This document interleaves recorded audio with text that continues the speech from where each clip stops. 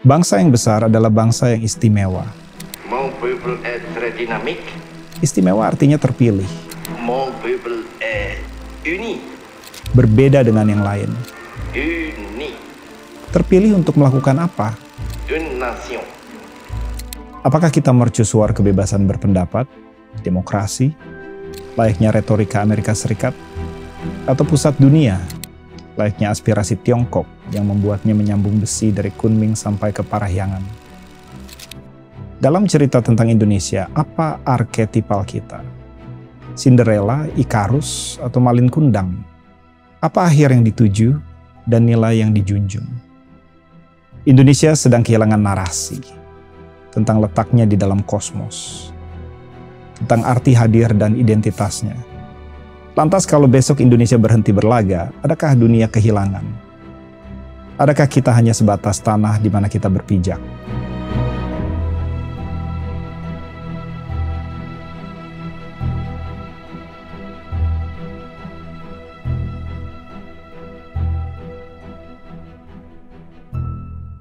Saya Bagus Mulyadi, peneliti dan pengajar at the University of Nottingham di Inggris Raya.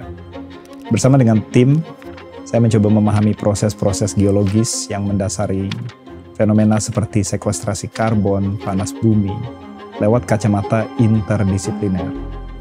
Dalam karir akademik saya yang belum panjang, saya setidaknya sudah pernah mengecap dunia riset dan pendidikan di empat negara yang berbeda.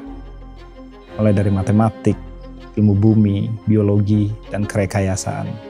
Saya dapati bahwa Indonesia adalah tempat di mana lebih dari 50% cadangan panas bumi dunia berada di dalam kaki kita. Indonesia adalah negara dengan hutan tropis, terumbu karang, dan lahan gambut terbesar di dunia. Ketika negara sedang mencari jawaban akan ketersediaan energi, tentang mitigasi masalah iklim, Indonesia punya sumber yang bisa dikultivasi. Tahukah kita bahwa ilmu tentang bumi itu bermula di tanah Jawa? Tahukah kita bahwa masyarakat Yogyakarta sudah bergelut dengan geologi sejak abad ke-16 tidaknya? Dengan antroposen, sudah tahu bagaimana caranya hidup berdampingan dengan gunung berapi, dengan entalpi tinggi, dengan suhu di atas 300 derajat. Tahukah kita, obat-obatan masa depan bersembunyi di lepas pantai Halmahera? Sudah saatnya kita berpikir bersama, melepaskan belenggu Indonesia dari negara penghasil bahan mentah, menjadi negara berbasiskan ilmu pengetahuan. Indonesia punya semuanya, semuanya, kecuali cerita. Cerita tentang arti, nilai, dan tujuannya.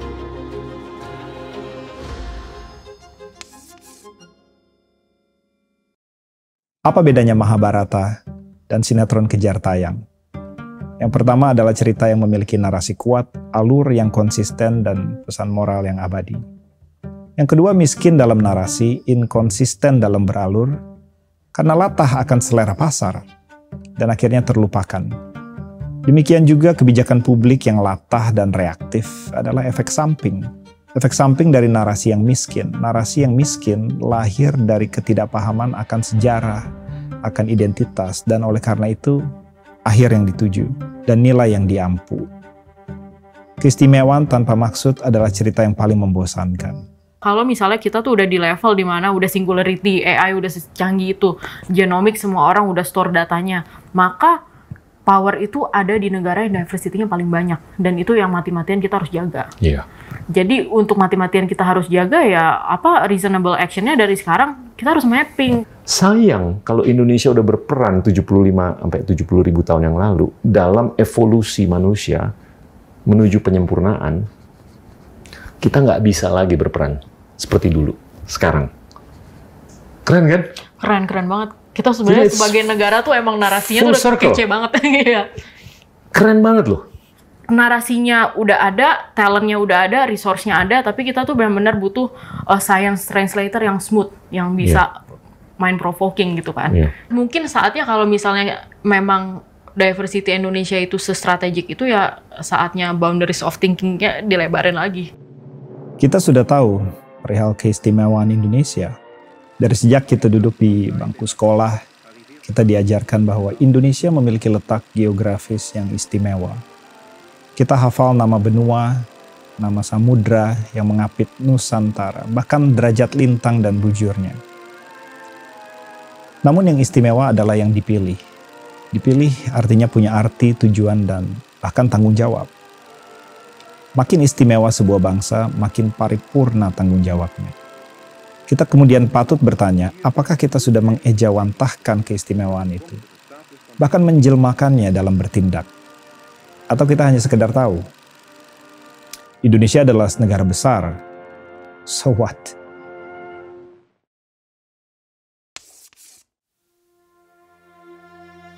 Sejarah penuh dengan contoh bahwa dunia pernah menjadi laboratorium bahkan guru alam bagi pemikir-pemikir dunia. Indonesia pernah menjadi Mekahnya para filsuf alam dan saintis-saintis ternama dunia. Selama lebih dari 150 tahun, dimulai sejak tahun 1800-an. Bahkan, seorang pakar biologi asal Belanda memberikan tajuk dalam publikasi ilmiahnya tahun 1945, tahun kemerdekaan kita, bahwa pusat penelitian biologi dan konservasi hutan di Cibodas sebagai surganya para naturalis. Sekitar tahun 1960-an, dua kapal ekspedisi sains Luciat dan Monsoon berlayar dari Amerika Serikat, membawa gravimeter mengambil sampel dan berlayar sampai ke Australia dan lepas pantai Laut Selatan. Dia mengambil sampel di sekitaran lempeng tektonik dan mencoba untuk mencari tahu dari mana gunung berapi itu mendapatkan magma. Dan dia dapati di sampel-sampel tersebut sebuah fakta bahwa Laut Selatan itu seperti pipa yang menyalurkan magma sampai ke Gunung Merapi. Asal muasal teori tentang pergerakan lempeng tektonik itu memiliki akar yang sama dengan pandangan falsafah masyarakat Jawa yang melihat gunung berapi dan lautan sebagai satu kesatuan, sebagai entitas hidup. Tidak hanya sampai di situ, mungkin kita lebih akrab dengan teori evolusi Darwin. Ternyata teori tersebut tidak semerta-merta dikembangkan sendiri. Ada Alfred Russel Wallace yang dengan sangat signifikan ambil bagian dalam konsepsi teori evolusi. Pada sekitaran pertengahan abad ke-19, Wallace berekspedisi ke Nusantara di Indonesia bagian timur. Dari Sulawesi ke Papua dan ke selatan sampai ke Lombok, Nusa Tenggara Barat. Dia kemudian dapati di situ biodiversitas yang sangat luar biasa, spesies-spesies hewani dan nabati yang baru yang sangat dengan signifikan berkontribusi dalam riset yang dilakukan oleh Darwin. Bahkan Wallace juga menuliskan dalam kata-katanya sendiri, and I quote, Celebes atau Sulawesi, in many respects, the most remarkable and interesting in the whole region, or perhaps on the whole globe, since no other island seems to present so many curious problems for solution, close quote. Wallace wrote this in 1876.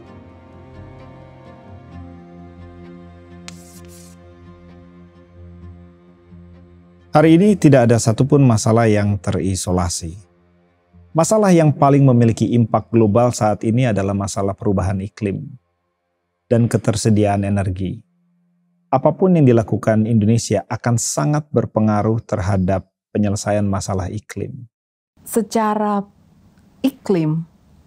Sebenarnya tumpang sari, yaitu cara bertanam nenek moyang kita ini, sekarang tuh digaung-gaungkan di luar negeri sebagai regenerative farming. Wow. Dan mereka menemukan ini sebagai hmm. salah satu nature-based climate solution atau solusi iklim berbasis alam yang paling baik. Tuh, hmm. Jadi belajar dari hal-hal yang sifatnya hmm. balik ke akar masa lalu kita, tapi ngelihat itu dari kacamata ini tuh filosofi yang kita bawa ke masa depan gitu sih Pak. Hmm. Kayaknya bakal menarik gitu karena yeah. bukan influence dari luar kan. Berarti kita yeah. justru nginget-nginget apa bahasa Sundanya panca kaki kita gitu nginget-nginget dulu tuh kita um, apa dibesarkan dengan nilai yang seperti apa perusahaan-perusahaan yang menjadi perusahaan global itu selalu ada fondasi budayanya iya Hollywood America is all about showing off, right? And so Hollywood, of course, is going to be in the US. Toyota, the Japanese itu sangat efisien. Wah, makanya manufacturingnya ya, ya Just Toyota. In time, yeah. Just in time, Kaizen ya, yeah. like semuanya dari sana gitu kan. Yeah. Germany is all about craftsmanship, right? Yeah. makanya banyak perusahaan kayak Bosch yang sangat-sangat wah kalau bisa BMW itu sangat-sangat craftsman sangat tinggi dari Jerman. So if we- kalau Indonesia mau punya perusahaan yang juara dunia gitu, harus dimulai dari budaya kita. Nggak bisa niru dari luar. Hmm. Kita nggak bisa terus-terusan jadi generalis, pengen semuanya bagus. Pada akhirnya nggak fokus pak. Akhirnya we're we want to be good at everything, but uh, finally we're not excellent at anything. We need to be be excellent at least in one or two things. We choose apa sih yang kita pengen lakukan. Kita pengen jadi negara dengan industri maju, material maju, itu kan selalu digaungkan. Kita pengen jadi negara yang misalnya bisa bikin pesawat terbang, atau kita balik lagi ke laut kita, ke darat kita, apa sih yang ada kekayaan alam kita yang luar biasa. Itu dimanfaatkan menurut saya. Tapi kan sekarang fokusnya terpecah-pecah ya. Kita pengen jadi ini, pengen jadi ini, pengen jadi ini, pengen ngejar ketinggalan di Iya. sini.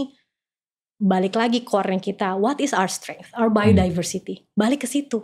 semangat untuk membangun budaya misalkan lebih mengglobal. Kita kan lebih ngerti dulu, kita harus yakin dulu, kita dulu itu seperti apa. Bukan kecil, kemudian digede-gedein, jadi lucu. Tetapi kita harus tahu bahwa kita gede banget. Dengan kita ingat masa lalu. Sejak Austronesia, keberagaman dan toleransi itu yang kita miliki. Yang perlu kita pahami, yang penting juga bahwa sejarah itu bukan tentang masa lalu sebenarnya.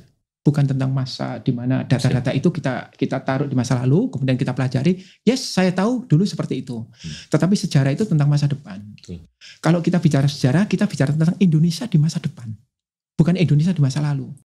Dan kalau generasi muda ngerti kejayaan kita di masa lalu, cara dia bergerak di masa depan itu. loh. Hmm. Itu yang terpenting sebenarnya. Hmm. Dia nggak tercerabut dari mana dia berasal, dia tahu. Hmm. Dia ngerti jati dirinya. Inggris ketika berdialog dengan tetangganya selalu memiliki nasihat dari chief scientific officers. Ketika mereka bicara tentang perubahan iklim, tentang epidemik, selalu ada otoritas saintifik yang mendasari pesan-pesan global negara-negara besar. Demikian juga ketika Cina menghadapi masalah polusi udara yang begitu dahsyatnya di satu dekade terakhir, dia mengambil kebijakan yang didasari oleh etos konfusianismenya. Living in harmony. Demikian juga Amerika, semuanya berkaca kepada identitas mereka. Indonesia pun dalam kebijakannya harus berbasiskan identitas. Kebijakan luar negeri, dalam negeri, kehidupan sehari-hari harus dimasuki secara integral unsur-unsur saintifik. Sains adalah aparatus yang diciptakan manusia untuk memahami segala hal yang bisa diinderakan. Namun untuknya bisa menjadi landasan kebijakan, sains harus disokong oleh etika dan integritas yang kuat, bebas dari plagiarisme dan keberpihakan.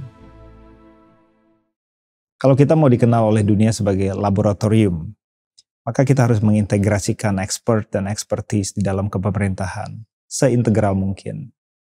Para murid yang duduk di bangku sekolah harus tahu bahwa meritokrasi yang ditanamkan di sekolah dari SD sampai universitas akan terrefleksi di dalam hierarki kepemerintahan.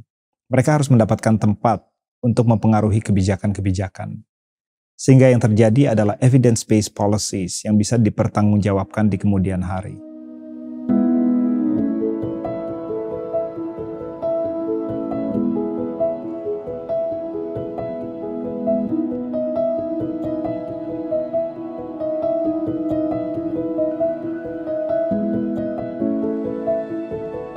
Ini adalah sebagian kecil dari perjalanan yang panjang. Chronicles adalah sebuah perjalanan untuk mengejawantahkan arti, nilai, dan tujuan bangsa. Teman-teman dan saya ke depan akan mengartikulasikan arti hadir kita di dalam kosmos. Mungkin sebagai juru rawat lingkungan hidup, sebagai laboratorium, guru bagi dunia, tempat orang mencari dan mendapatkan jawaban. Salam hangat, sampai jumpa.